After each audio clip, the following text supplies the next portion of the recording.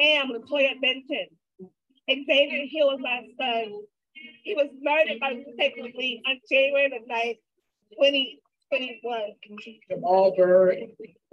He was murdered by DC Metropolitan Police in their custody. He died in their custody and they claim that they don't know what happened. They had they had no business arresting him. This is Life After the Impact, a podcast for impacted families by impacted families that focuses on what happens after the media, the lawyers, and the activists are gone. Impacted families are left to face uh, the loss of a loved one to police sponsored violence. We will focus on their continued fight for justice and how you can get involved. Just walks away. Watch your police take another life today. Leaving loved ones torn, nothing left to say. Candles burning, only do you pray. Yeah.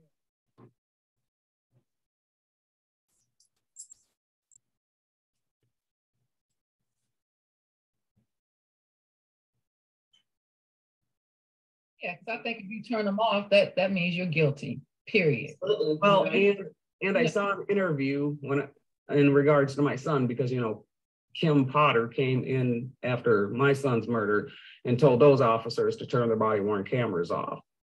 And when I saw uh, one of the news stories about one of the people on the other side talking about it, this is what he said. He said the reason for the body worn cameras is to capture the interaction with the public. So his logic was once that murder's happened and then we turn it off, then we're done dealing with the public. Now we're, you know, trying to do our little cover up. it's my words, my words. Damage control, it's on damage control. Yeah, yeah, but as far as I'm concerned, uh, you know, being in that situation, it's as important as to see what happened that took my son from me, but it's almost as important or, or more important to see what happened exactly afterwards.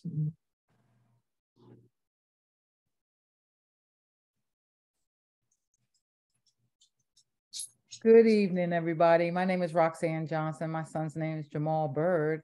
I'm here with my wonderful co-host this evening, Latoya. Hey, how you doing, Latoya? Hey, good evening, guys. I am Latoya Benton. I am the mother of the beautiful Xavier Hill. Xavier was killed at the age of 18 by two Virginia State troopers. We are honored to be joined tonight by Mr. Oscar Urbina. Oscar, you want to go ahead and introduce yourself, please? Yes, hello, hello everyone. Uh, my name is Oscar Urbina, father of uh, Ruben Urbina. He was murdered on the um, on September 15th, 2017, um, by the Prince William County Police here in the state of Virginia. Mm. Well, we're glad to have you um, this evening, Mr. Oscar. Can you tell us of what happened on the day that your son was um, tragically um, lost. Yeah, he um, recently we spoke to the DA and we told her exactly what happened. On that morning, uh, he woke up uh, and he told mom he wasn't feeling well. He, he told my wife that he wasn't going to school. So my wife said, okay, because that was, uh, that, that was not normal for him. He always went to school. But, you know, he saw um, my wife told him it's fine. So he was very calm, very just just let the, the same Ruben. And um, my wife was cooking that morning, and and and and, uh, and and she she asked him if he wanted some eggs, and of course he was you know in good spirits, and he said yes. So they ate breakfast.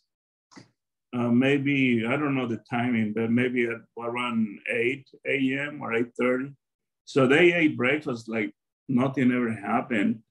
And then, um, you know, then 30 minutes, I say 39, 9 a.m. My, uh, his, he told my wife that he was gonna go for a walk. And, uh, and my wife said, okay. Uh, but the context, uh, besides that in the background, we didn't know that my, my son was, um, was on the phone all this time uh, the, the night before started a conversation. He was on the cell phone with, with this girl that he, he was he was dating. Uh, my wife tells me that that the girl on this is on um, uh, the night before there was uh, there was a conversation going on between my between Ruben and the girl, and I, I think they were fighting or arguing, and my wife thinks that they broke up, mm. and they broke up the night before, and and and that continued. I guess they they continued the conversation until the following day, but my wife didn't did, did not know that they were talking early in the morning. When he when he decided that he wasn't going to go to school, he was still on that conversation. He was so emotional for him. Yes. So that that's the context. That's that's what my wife now knows. At that time, of course, she didn't know uh, that morning when he when they ate together breakfast but uh, he had something going on i think when he um when he say when he said that he was going to take a uh, was going to take a walk that's when i guess i guess he um really started putting together the things that he was planning on doing and uh he started uh, you know within within the next 30 minutes that's when all happened because this is exactly when he when he was killed it must have been 10.30. So think about it. He was eating breakfast at 8.30 mm. and two hours later he was dead. Uh, after after eating breakfast and told my wife, he went, he went, he disappeared for a little bit. And I think that's when he was making a call to the police. Uh, my wife obviously didn't know that was taking place down down there in the basement. Ruben Ruben had called the police and told told them that um, he was he had a, a, a bomb and he was trying to uh, hurt the my wife and his brother and my brothers and my my other son's girlfriend. And so he called the police and um, obviously all this all these things were happening. No one knew uh, at that time i wasn't home i was traveling i was in mexico um, but um, and then in the next, you know, it, it, went so fast. In the next few minutes, uh, Ruben went downstairs with a crowbar in the basement because he, he is the only one who knew that the police were, were being called mm-hmm. and that the police were the police were was coming. No, not, not no one knew. He was just um, with a crowbar uh, with a crowbar, and, uh, at that time, my wife did not understand his behavior and and he was uh, he wasn't aggressive or nothing. He was just asking, "What are you doing?" And he was saying, "Don't don't don't come close to me. Don't don't don't touch me. Don't." Um, I I uh, he he told my wife that he was waiting. That's when they find out. I said, "I'm waiting for the police to shoot me." Mm. And and um, so they they all went downstairs because he was standing right there, like waiting for the police in in the in the uh, downstairs in the garage.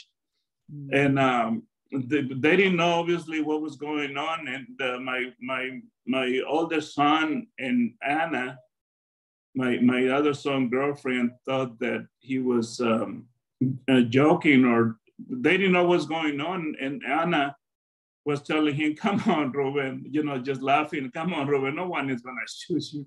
Come on, but you you you're nuts. What what you talking about? But they didn't know that his police was on his way. So uh, when the when the as soon as the police arrived, Anna Anna saw that when the police arrived, Ruben Ruben uh, went uh, uh, make you know in advance went to walk towards them, and and Anna got in the way, and and that's when uh, Ruben told her, "Don't don't don't come close, don't stop me, don't come close to me." But obviously Anna Anna was trying to tell you know to stop him and that's when Ruben they, they say that Ruben uh, struck her with the crowbar mm-hmm. and um, my wife at that well before this happened uh, when when they find out that he the police were coming my wife was there with Ruben in the garage keeping an eye on him but when she found out that they were coming uh, she said uh, she thought about going upstairs and change clothing because she was wearing pajamas. And she said, I'm, gonna go down, I'm gonna go upstairs and change because when the police over, gets over here, I guess we're gonna take him to the hospital. Mm-hmm. And and then uh, that's when she she went uh, upstairs when she heard the first pop.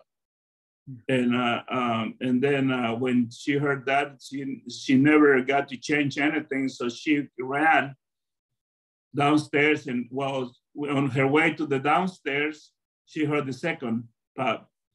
And when she came out, when she came out to the garage, they uh, uh, across the street, that's he saw Ruben, you know, uh, on the floor, uh, dying. Mm. And then, you know, she came out and told the, the guy with the still on his gun, well, what do you, what do you, she asked the guy, why, why you shoot, uh, what are you, what, so what are you doing? Why you shoot him? And then the guy, the guy told her, well, because he asked me to. And this is this, is, but again, you got, got to remember that all this is that there were no cameras at that time. Right, right. You know, just like, you so know, there were. So it sounds like, um, um, Mr. Oscar, that your son was having a mental health crisis. He was having some kind of mental health crisis. And when the police showed up, was he a threat in any way to the police? No, he wasn't, and that's that's what you know. Uh, that's that's the thing that the when we went to when Latoya and us, we wanted to tell the, the the community, we wanted to tell the whole world that because for five years we we, Wait, we never. Don't break the news hold on, go fast. So we're gonna we're gonna fast forward to that. So to, just to break it, so what happened in the case to kind of catch everybody up, the DA at the time, um, what was his name, Oscar? I can't remember his name again. Who was the guy? Paul. Yeah, Paul Ebert. Paul. Now that DA, I want you to tell everybody how long was that DA? How long was he in office when this happened to Ruben? He's been in the office 50, 52 years. 52 years. Mm-hmm. 52 years, you all. 52 years. Roxane, at the end of every podcast, she loves to say all the time about we have to be voting because this is the reason why. There's, the DA was in office for 52 years. 52 years. And after only, I'm gonna let Oscar tell it. Oscar, how long did it take for the DA to make the decision about uh, Ruben's case? Uh, it must have been like, well, she, I'm surprised that she allowed us there because you left within an hour, I think. But we continue there, like she almost like gave us the three hours. No, that's no, no. no, the first DA, the one who Oh, oh, oh, the yeah, Mr. Uh, I, I, I don't call him Mr. Nothing. He's for me is just an animal, but yeah, he they took him. Yeah, it took him four days. Four days. After four days of a so-called investigation, he decided not to indict the officers. Four right. days. Four days. Hero having a mental health crisis. And, and, because they, you know, you remember um, that they, we always talk about and when, whenever all of us have a conversation, either on this platform or any others, uh, I, it, it always, always the, the, the the thing about um, they they uh, the police investigate themselves. Absolutely. It always comes up because in reality it's really it's really absurd. That, but in, in reality that's what happened when they kill when they when they when they kill our loved ones. They go they go behind doors and it's just themselves Mm-hmm. And then they decide, you know, then they decide that, you know, that we're not going to indict the officers because it's one of ours, of course. And that's how they plan how to, you know, they say, well, okay, now, well, how are we going to present this case to the public? Because after they make a decision, they go in a press conference to yeah. tell, you know, and, and all the local channels are there, you know, to broadcast the, the whatever decision they made to the whole public. So that's the narrative that the public gets. But in reality, in, in, reality, I remember. I, well, I don't know if I'm if I'm going to um, forward, but I remember the new DA when when we were talking to her. I remember she was very upset when we she was very upset when we telling her our story, and she was so upset and I said, "How can?" And she said, "How can this be? Police investigating themselves." You know, she was so upset. It's like she gets it.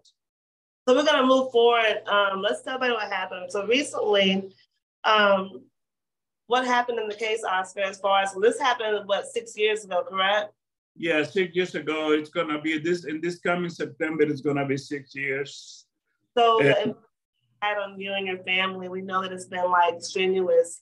What have you guys done recently in Ruben's case to help move forward to make some kind of change? Let's talk about that. Well, you, you know, from uh, within the um, uh, uh, what what do you call uh, the terms uh, limitations? You know, we got so many to, to file to file a lawsuit on the civil on the, the statute statute of limitations. We did file uh, within the two years, but the the lawyer that the the, the Mexican embassy gave us never really did anything from uh, after he filed, nothing was nothing was done, and then uh, during I don't remember exactly, maybe 2018. That's when the pandemic came, and all the cases were backed up in the court systems, and obviously there was there was no there was no movement uh, right after we filed. But anyhow, it's been five years, it, has been it's been almost five years, and finally, uh, because nothing was happening, I decided to confront or to have a very honest conversation with the lawyer and uh, and ask him, "Hey, uh, Mr. O'Malley, what's what's going on?" And of course, we had that we had that conversation with the lawyer uh, the day the day before we met with the the new DA, mm-hmm. and pretty much he um, he told us he's you know he hasn't done he hasn't done anything because he um, he wanted to um, talk to us about strategies strategies to to to go forward to move forward with the case which in, in reality it doesn't make any sense to me because why wait why wait five years hmm. to call us you know to call us into the office and say hey guys I got something important to you. Let's sit down and talk about this case. So the whole thing he told us that uh, it doesn't really what it doesn't really make any sense. I think in reality, what he he's he's not interested. He's he is not interested in the case because maybe he doesn't have um, he doesn't think there's going to be money mm-hmm. to to get on a settlement. And I think I think I was telling Latoya the only reason I think he stood he uh, was uh, was stood with us all this time is because he probably was monitored by the people who um, refer him to us, which is the uh, the Mexican. I think he worked for the Mexican embassy, and I think he was he wasn't um, he was not telling them that, that he hasn't done anything. So he he only entertained us, you know, just uh, just let time pass by and and know that you know, and I guess in the background telling telling the embassy that he's still working with us, but in reality, he wasn't. I don't think he uh, he has any int- intentions on doing anything because you know it's almost five years. Yeah, we got a name for people like that. They call ambulance chasers. Yes. Looking for a quick payday. Yeah, so, so that, tell that, us what, what happened when you met with the new district attorney. So so the the guy who was in there for 52 years, he retired, right? Yes. All right. And so a new district attorney was installed I got a couple years ago. You had asked for a meeting with her. How what happened? Okay, we went in there first, but first of all, I was very uh, pleased that she she replied. She when I when I sent her the email, she replied like within on the same day. Mm-hmm and she gave me the appointment almost almost like the following week. So to me, to me, it was very uh, um, surprising because I was not expecting uh, that a quick response, and uh, that's that's when uh, Latoya I, I told her, and we were I was well I was I still am I still am, and I was very excited that uh, for once we're gonna go there and and um, and share uh, the story. And, and, for real, you know, for once, uh, tell this tell the story to a DA and tell her the narrative. Because remember, in this, like any other case, there's always two narratives, right? That's this is what I told her. It, the the narrative that the police gave to the public is one, and the other narrative is the one of my wife, my son, and, and my son's girlfriend, who were the only eyewitness on that day. And and when you know when they everything they told the public it was so erroneous, it was so false, it was so out of out of out of context. It didn't really, of course, for they for them it makes sense, but for us it didn't because it, it really didn't. So we told her that we got, I mean, we, um, we don't have the physical evidence, but I think uh, there's a lot of, um, uh, I, I, told the DA, I said, listen, in, in all reality, uh, you, when you, the evidence is, is on the 911 call. Mm-hmm. I said, uh, for me, if you listen, if you listen to carefully, and on the 991 call, you you you will find out that this is just a small kid, a small kid, and when he uh, he was questioned by the by the dispatcher, uh, he was contradicting himself so much it didn't make any sense because he was only 15 years old, and probably and probably afraid. So when the dispatcher was asking questions, he would um, he would answer. Uh, it, would, it wouldn't make any sense the, the way he was uh, answering the questions. For example, the dispatcher on, on the phone, because I listened to that, to the 911 call, the dispatcher will ask, hey, uh, Ruben, who, who is with you in your house? And Ruben would say, my mom and my brother and, and my, and my uh, Anna. Okay, uh, do you have any weapons? No. He wasn't being aggressive then. That means he wasn't being aggressive. So I think you were able to have the opportunity to present the case finally. And I think it's a matter too of let people understand too, the letter you wrote to the DA, it wasn't like a very like real, real, real long letter, right? No. It, so very it, basic, right? Yeah, well, I think I saw you. Uh, uh, I, I think I, I, I showed the, the, the, it wasn't a letter, it was more like a brief It was note. an email, yeah. It was a, it was a brief note, all because note. All I said, all I said, uh, all I said is this, uh, I, I said, I, I wish, I said, I, I, I used the word beg you. I said, I beg you uh, um, uh, to the DA on that brief note. I said, I beg you to uh, give me a chance. Uh, we would like to share our story. And that's all. We were not accusing anything or say, you know, nothing like that. It was just, just give us the opportunity to share the story. And it was very short and precise. It wasn't like, oh, uh, you know, um, uh, it wasn't a long letter. I think people are under the perception that we have to have like this whole caseload of like information and have this whole, you know, ready presentation to get to the DA. You know, that's not our job. I mean, we, can do those things and tell them the discrepancies happen in the case, right? But it's their job to figure out what was wrong because we're already saying, showing them what is wrong. I mm-hmm. think the matter of um, your, your case to me, I think is, is, is, important because people have to realize that the ODA was in office 52 years. Ruben got killed almost six years ago. Most people will take that answer and say, you know, hey, the DA has already told us not going to indict. We're going to take for the answer. When you went to the office that morning, you simply said to her, we asked her, it happens in other states. Why can't it happen in my state? And she told you then, you know, it can, right? Yeah, re- remember uh, how mm-hmm. it all, it all it, this all started. Why, why, why it took me? Because she's been in office three years now, and I think, yeah, I think the uh, the Commonwealth Attorney in Virginia, they're they're they are elected for four years. And remember, she's going to run again, I think, her um, very, very soon. But why, why it took me so many years to make that phone call?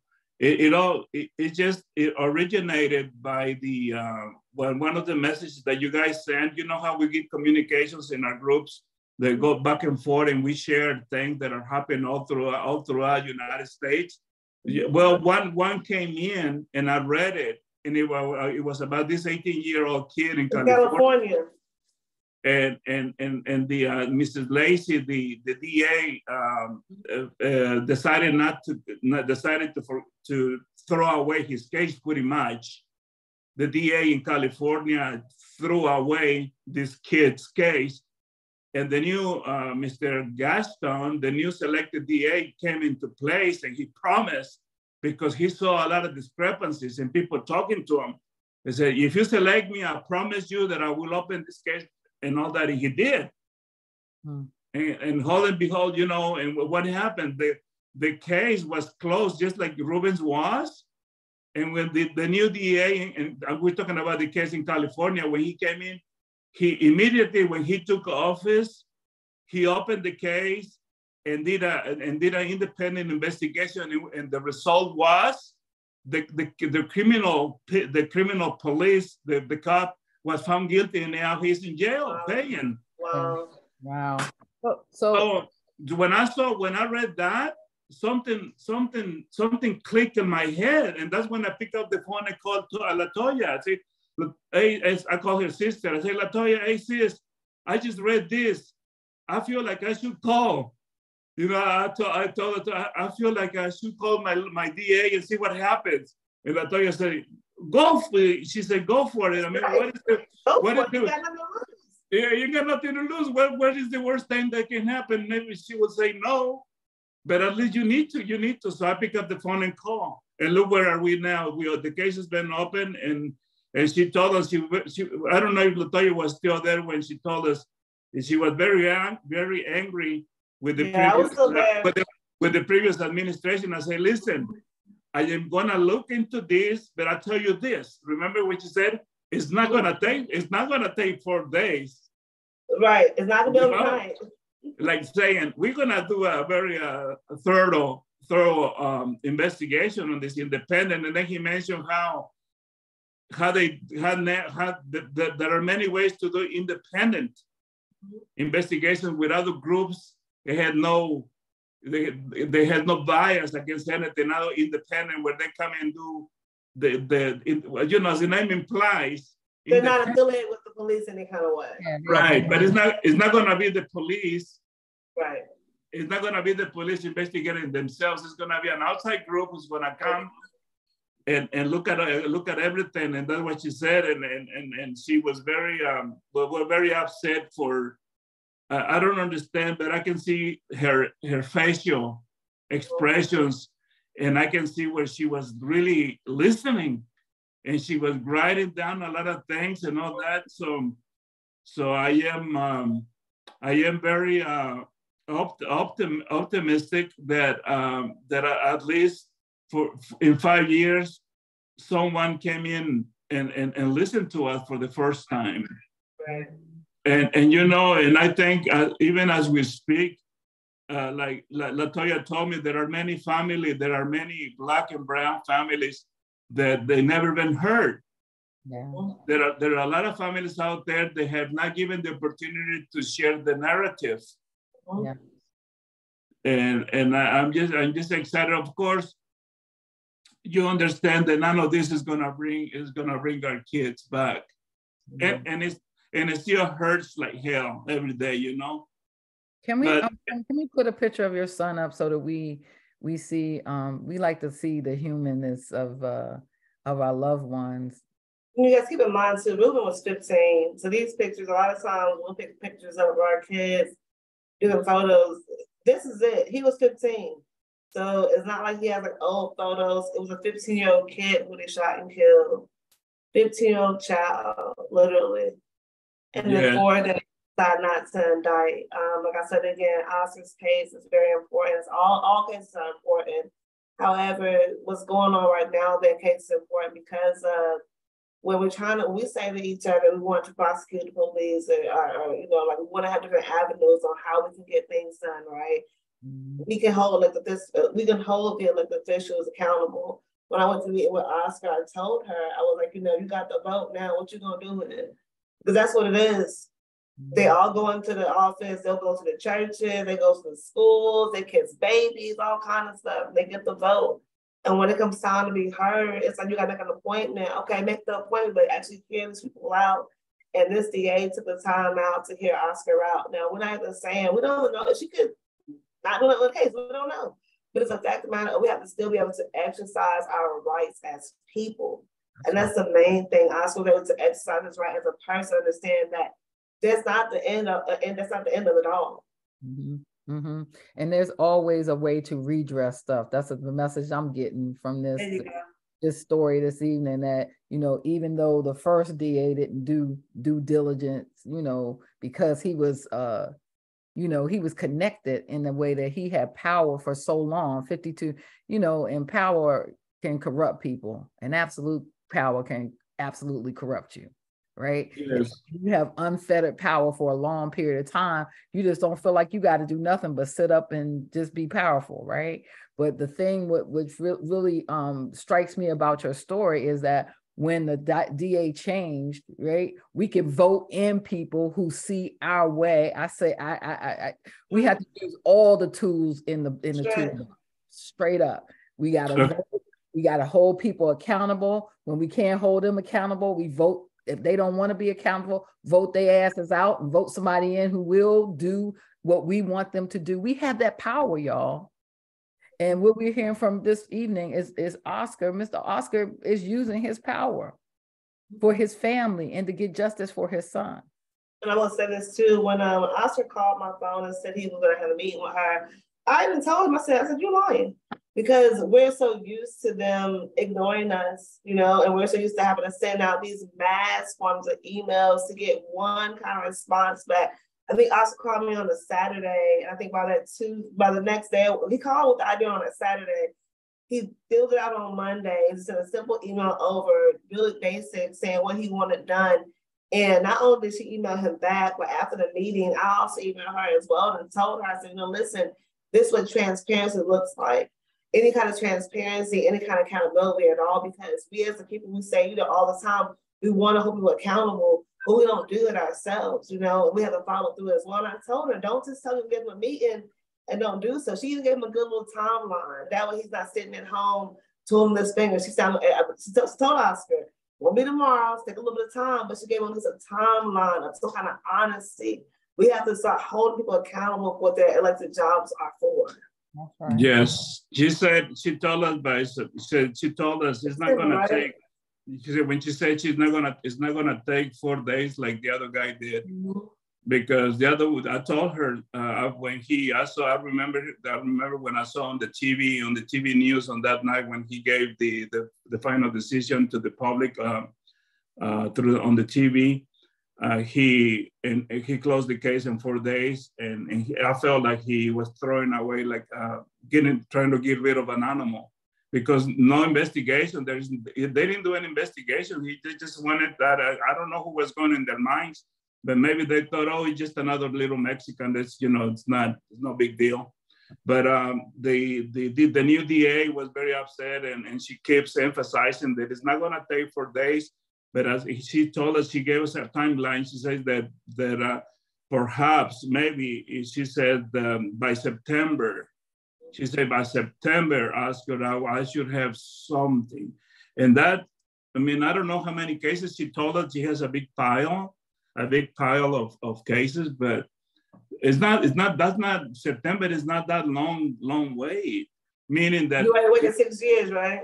Yeah, meaning, meaning that she's got, you know, she really meant it, that she's gonna go to work. And I don't know if you, if you noticed, I don't know if you noticed the demeanor on her and the other attorney, the, the assistant that was with her. She, they were like on fire. I felt like mm-hmm. they can they couldn't wait to get on that case because they told us that were you were you there, uh, LaToya, when when she told us that when she came into the office and and mm-hmm. she she discovered. Yes. Yes. Yes the, yes. the corruption, the corruption, the, mm-hmm. the corruption that was there. I said, I came into office and I don't, I don't work for the police. Mm-hmm. I, I, mm-hmm. don't work for the police. But for the community, she said. And that's yes. another thing too. She said to us, you guys, we say all the time, that's that's important for them to understand when you get elected, you're not elected for your own personal agenda. You are elected for the benefit of the community. And it is important, like I said, I myself am learning the importance of not just the national vote, but the local votes as well. The DAs, not just the governors and the you know the DAs, the attorneys, all those people. Those people matter when it comes to cases like this. Somebody should not be in office for 52 years. If you're in office 52 years, you are now cultured. You're cultured. What you want to do. That's what happened. Mm-hmm. Yeah because uh, yeah, he was elected. You got remember the, the this county for many years. He was on he was on office for 50 years because he gets elected every every every, every four years. He got elected from from for, for so many years because uh, at that when when he when this and Manassas Virginia was not always uh, the, the citizens of Manassas was not always uh, uh, Hispanic. Not too long ago, maybe 20, 10 years ago, there was very few Hispanics in Manassas, Virginia. Mm-hmm. But as the community, you know, the the you know, the, the, the Latino community came and uh-huh. started, you know, uh-huh. go. Now it's different. That's why now there's there's not the uh, let's put at that time when uh, Ebert was was uh, selected, there was like uh, 80 percent participation. Maybe the uh, uh what uh, um, what you call uh, Anglo-Saxon people, mm. but now things have changed. In 20 years, the community, the community, the community it, it, is no, is no longer there. The, the, the the vote of the white people is much less than it was back then. Yeah, now it's more Hispanics now, but I think too that goes back to back to voting though, right?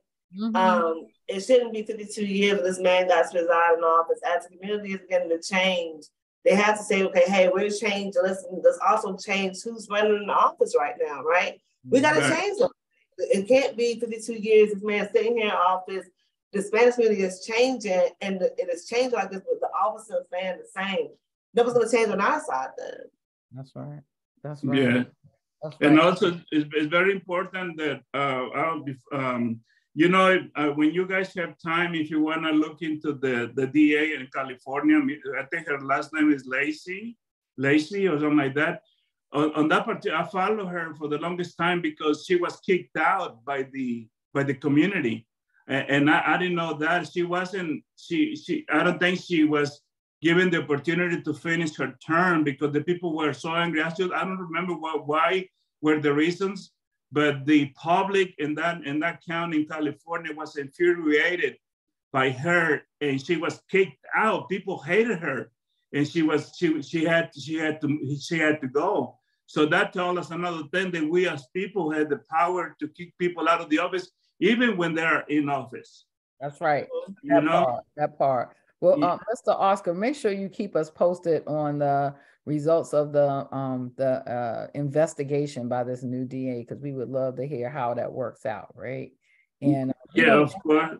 Yeah, we don't definitely, you know, we we usually have an ask or action at the end of our podcast, but this evening, you know, hopefully what we're talking about is is instilling some hope in some people who have felt like they, you know, they've ran out of options or they they can't redress. Um, please be continue to be hopeful don't give up fighting for your loved ones. It's mm-hmm. important.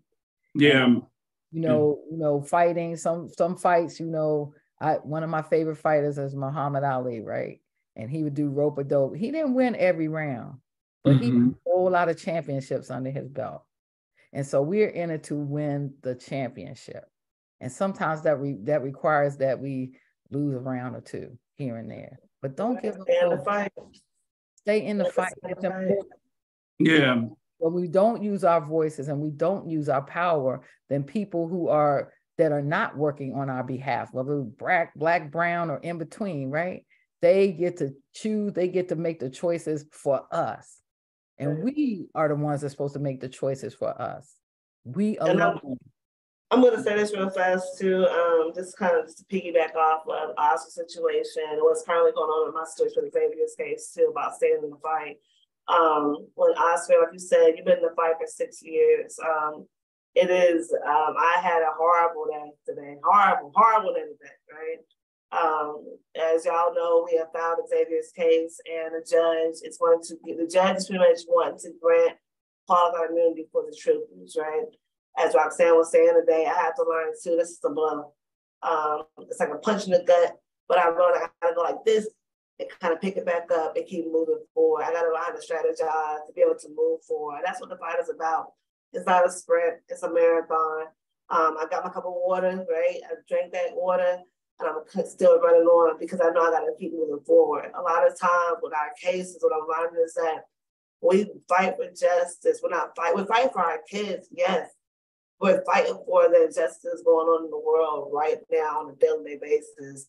This podcast hopefully will move somebody to understand just because that DA told you 10 years ago we're not going to indict, his ass might be almost no more. Approach the new DA. The letter Oscar wrote to the DA, I'm telling y'all, was something very simple, but he poured his heart into that note. It was like a note and told her what he wanted. We have to do the exact same thing. We can talk all day long, be in the streets with our bullhorns all day long, but are you applying the right pressure to the right person? If you're not, then a point. So if you know the DA is, they're oh, and then make sure too though you're doing the, the uh, research on the DA because if you got the same person who was in there like the last 10 years, you get the same kind of results. Don't mm-hmm. waste your time. But mm-hmm. still, at least, at least try the avenue out, you know? It's not mm-hmm. a point. You can't, they say all the time, the only shot you miss is the one that you don't take. Right, right. Yes, yes. And and can I just add that I love the fact that um LaToya, who is a born to fight, she's a born leader, born fighter, that she was she was um there to to provide support to the brother when he went to meet with the DA. We need to support more um each other more. We all had the same pain, all of us who who are impacted families and you know get into the the rhythm of not just you know his that case or this case but supporting all the cases that you can. Whether whether by um, looking at our list that we have and making some phone calls or, or, or doing an email but support one another because there's unity there's power in unity. When we stand together there's power in that. And and the people who have the power know that. They know that. Yes they, they do they know that. And so we we are determined to fight not one inch back, not one inch back. Not Amen. One Amen. Amen. It was nice talking to you this evening, Mr. Oscar. Thank you so much, everyone. This has been Life After the Impact. We'll see y'all next time. Stay in the fight. All right. Good thank night, you. Guys. Good night. Yes, yes. And people have to realize they gotta realize too the importance of even of her case too of them being qualified immunity in that area. When families stick into the fight and people gotta realize too, when it comes to civil lawsuits, people love to say, oh, it's blood money. No, it's setting precedents for other cases that are behind these cases so you can prove a point. So it's very important her family sat in the fight and is stuck in the fight. So it was realized that you can't you can be qualified immunity you got to stick in the fight. You got to be persistent and consistent in order to, to beat Call of Duty. Your, your family actually did. You guys did it. Yeah, and and exactly what you're saying. Also, you know, it there's so many families that are going to experience those times when they're trying to force us to take a settlement, force us to just mm-hmm. drop it, scare us out of it. It's happening so much, you know, yeah. and I understand it's a scary place for families to be. I knew with my brother's case specifically and the evidence we have, once it's actually pulled out, you know, you'd it's it's there. They right. the whole world. Yes, it, and, and you know, I feel bad for families if we don't have the evidence, if we don't have the videos, if there were no witnesses. I'm thankful that we eventually, you know, it took years to get what we got, but I am thankful that we know the truth because it's what I always knew, but I didn't have the physical evidence, and now we do. So I tell families, you know, fight, fight it.